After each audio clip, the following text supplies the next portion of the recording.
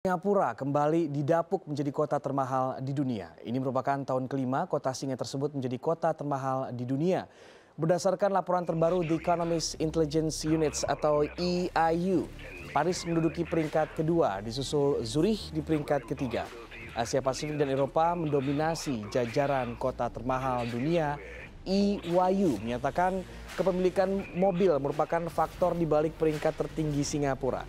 Namun harga barang dan bayaran asisten rumah tangga di Singapura lebih murah dibandingkan kota lain.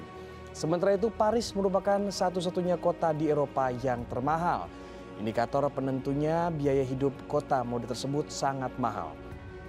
Indikator lainnya yakni minuman alkohol dan transportasi dapat dinikmati di kota ini dibandingkan kota lain di Eropa.